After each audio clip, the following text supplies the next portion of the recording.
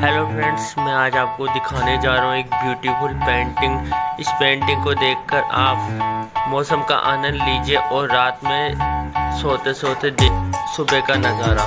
सूरज की पेंटिंग कितनी शानदार लग रही है। ऐसी पेंटिंग देखने के लिए मुझे चैनल को सब्सक्राइब कीजिए।